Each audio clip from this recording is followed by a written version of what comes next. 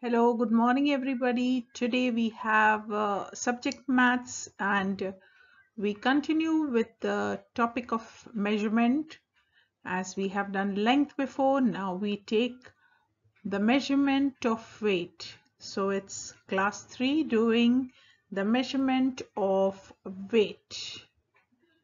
Now first children, let us all understand what is weight. You must have often stood on the weighing scale. I'm sure PT Miss used to do it. And uh, sometimes when you go to the doctors, you stand on the weighing scale and the doctor tells you your weight.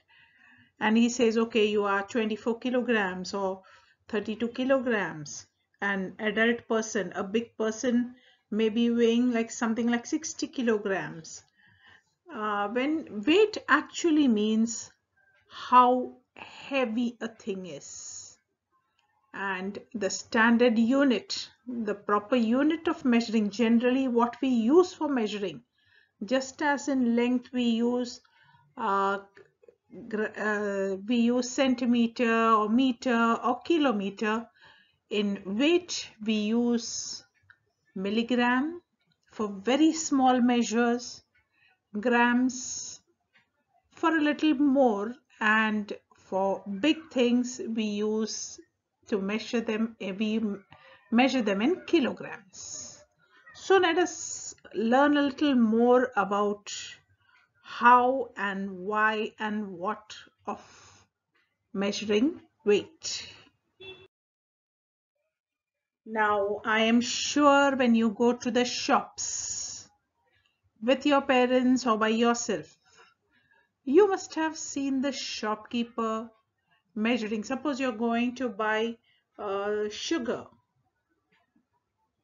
You will have to give him a measure.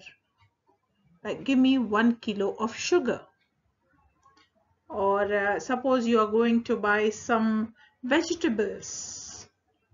Give me one kilo of potatoes or three kilos of onions or half kilo of uh, lady finger.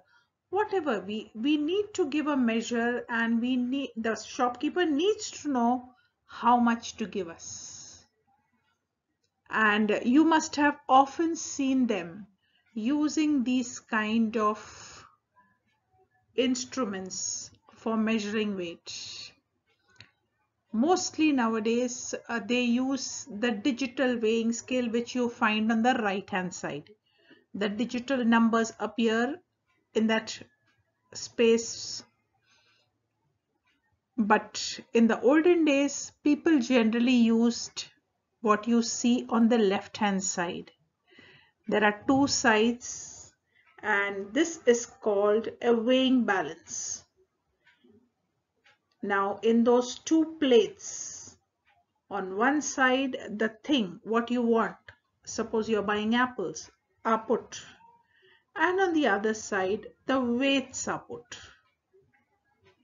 Now you may think what weights?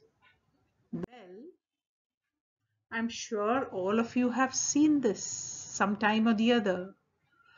These are iron weights, metal weights. Now as you can see on the left hand side we have a 1 kilogram weight 1 kilogram is actually 1000 grams. Look at the picture which is given there above. 1 kilogram is actually the equal of 500 and 500. You know 500 and 500 is 1000. So these are the measures of kilograms and grams. You also have 50 grams, 100 grams, 200, 2 300 gram weights also for small things which are smaller or lighter in weight or which you are buying less. And then you have what is given below as milligrams. Very small measure. Usually things uh, which we do not buy a lot. Like take the example of gold we do not buy a kilo, kilos of gold unless you are very rich. So those are measured in milligrams.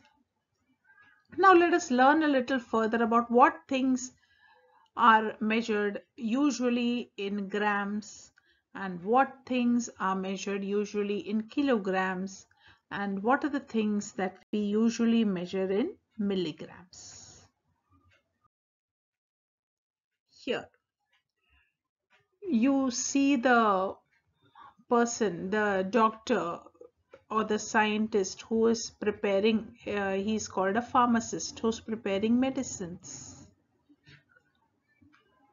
Usually medicines, the different chemicals or the different compositions in medicines are usually very small measure and it is usually in milligrams that they measure. Now look at that uh, medicine box that is given there. Can you see it is written Amlopres 10 and on top see in that box uh, in that uh, rectangle it is written 10 mg. That means amlodipine Besilate tablets, now that is the medicine, are of 10 milligrams. Each tablet is of 10 milligrams. You will check uh, whatever if you have uh, some medicine foils at home of your parents or grandparents, check behind the foil of the medicine. You will find such measures and usually they will be in milligrams because we don't um, take a lot of medicines or you don't take um, a tablet which is of so a kilogram or a bigger measure we usually take small tablets. So the medicines are usually in small measures like milligrams. Check it out at home today. And uh, you can see the gold coin. Like I said suppose you want to buy a earring or a finger ring or something small. We usually buy it in milligrams because gold is quite expensive we use we buy it in milligrams. Now what do we buy in kilograms or grams? Let us see that also. Now suppose you are going to the shop to buy masalas or mustard seeds like rai or dhania or even coffee. Usually we don't need a lot of this, correct? Masalas, we just add a little to the taste. Or suppose you are cooking a dish and they tell you put uh, half spoon of salt or put half uh, this or half a spoon or one teaspoon of sugar those small measures they are bigger than a milligram but generally when we are making uh, food at home uh, some vegetable we just put half a spoon of chili powder or just one little pinch of uh, turmeric powder haldi. Or when we are making coffee we make take one spoon of coffee and put it in the uh, water and milk. So these measures are usually smaller and they are measured in grams. And when we are buying in the shop also we don't need a lot of this. Because we are using less anyway.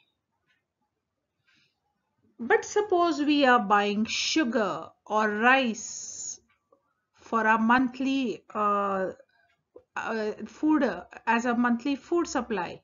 Or suppose we are buying atta flour or we are buying vegetables or fruits we need a bigger quantity that is measured in kilograms.